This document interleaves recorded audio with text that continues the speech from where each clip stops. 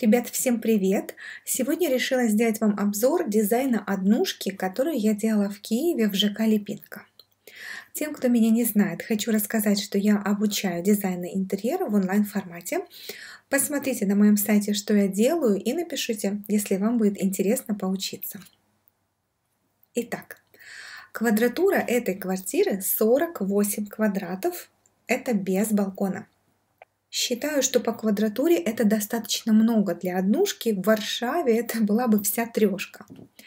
Ну и у этой квартиры есть свои маленькие и некомфортные места. Давайте посмотрим, как их можно обойти и сделать плюсами этого помещения. Квартира это для семейной пары без деток, для последующей аренды через пару лет. В квартире достаточно большой балкон, но стеклить его было запрещено, поэтому на нем мы ничего не делали. Итак, давайте посмотрим на изначальную планировку. Что мы имеем? Достаточно большой коридор, почти 12 квадратных метров. И рядом кухня 13. Конечно же, было принято решение расширяться, максимально использовать пространство под кухню-гостиную, при этом сохранив все функции коридора. Вроде как мы выиграли лишь несколько квадратных метров, но при этом, убрав стенку и заменив ее позже на полупрозрачную перегородку, мы получили открытое пространство практически в 20 с хвостиком квадратов. А это уже весомо в такой квартире, согласитесь. Если посмотрите на план монтажа-демонтажа, то увидите, что практически больше никаких глобальных переделок не было. Был лишь перенос двери в спальню в другой части стены, а, для того, чтобы не размещать дверь по центру стены и не портить ее внешний вид. И при этом получить со стороны спальни полноценный большой шкаф. Остальной монтаж у меня практически декоративный. Он для подсветки в спальне в изголовье, э, для инсталляции в санузле, думаю, это всем понятно, и для нишки, э, для шкафа в коридоре. Давайте пройдемся теперь по комнатам и начнем, конечно же, со входа. Заходя, мы видим глухой шкаф. Он не глубокий, 45 сантиметров и рассчитан на сезонную одежду и обувь. Справа на стене размещена ключница. Она маскирует электрощиток, так вы имеете и удобное место хранения, и быстрый доступ к щиткам. Рядом с нею крючки. Не люблю их. Не люблю то захламление, которое на них создается. Честно говоря, не вижу в них надобности, если есть шкаф. Но это было пожелание клиента, а желание, сами знаете, должно сбываться.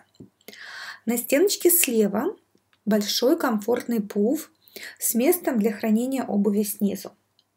Над ним же максимально большое зеркало, какое только удалось выжить.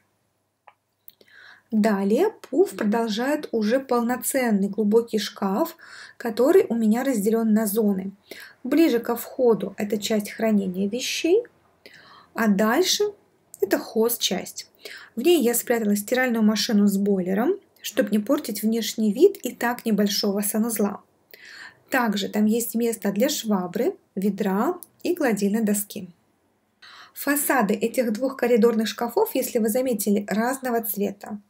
Мне хотелось, чтобы из гостиной просматривался более легкий визуальный шкаф, поэтому я делала его светлым. И если смотреть из гостиной, то светлая стена за диваном и ТВ перекликается с цветом фасада шкафа и создается ощущение, что там просто стена этой же комнаты. Из коридора мы просматриваем гостиную через легкий стеллаж с книгами. Проходим далее, и тут мы видим, притаился винный барчик.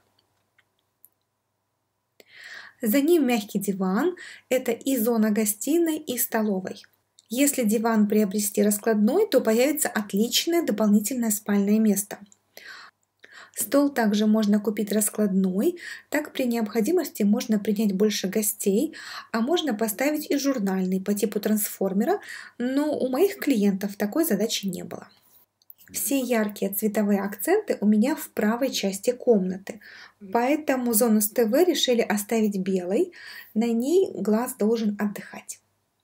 ТВ расположен по центру стены, чтобы удобно просматривать и со стороны кухни, и сидя на диване. Кухня – моя любовь. Маленькая, компактная, а, с двухкомфорочной плитой, потому как ребята почти не готовят. Непривычные верхние ящики, яркий холодильник, простой в реализации в кухонный фартук. И все эти же используемые оттенки смещены и в зону дивана, чтобы поддержать и соединить эти две зоны вместе. Конечно же, заглянем и в хозяйскую спальню. Она хоть и очень простая, но для меня очень стильная. Цветовую гамму с оттенками серого я перенесла и сюда, разбавив холодным пудровым розовым. Ребята ТВ не хотели, здесь зона отдыха. Конечно, можно было бы разместить справа от кровати косметический стол, и рабочее место, и зону релакса, и зеленый уголок у окна, но нет – такой аскетизм ребятам больше по душе. И санузел. Простой и лаконичный.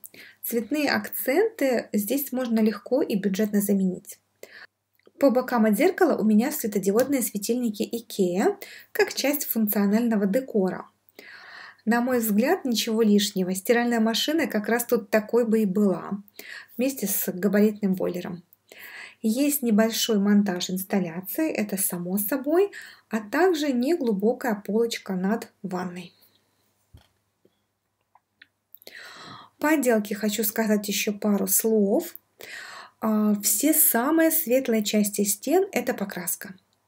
Серые участки – это штукатурка легкими мазками, скорее на ощупь и по виду напоминает бархат. Очень приятная. Эти покрытия легче в уборке, чем обои, тем более из расчета будущей сдачи объекта в аренду. Обои для меня всегда выглядят и ощущаются уютнее, особенно в новостроях, где могут поползти трещины по стенам. И изначально мы их и планировали использовать, но в итоге пришли к решению, что для лучшей эксплуатации пространства в будущем покраска и штукатурка нам тоже подойдет. Более тщательная подготовка стен и вопрос решен. На полу у меня плитка под деревянные плашки во всех зонах, включая санузел, за исключением спальни. Там паркетная доска в том же тоне. Вот такая интересная квартира у меня получилась. Она и простая, и лаконичная с одной стороны. Если присмотреться, содержит в себе фишечки, которые создают всю атмосферу. Надеюсь, что вам мои идеи и решения будут очень полезны. Всем спасибо за внимание. Пока!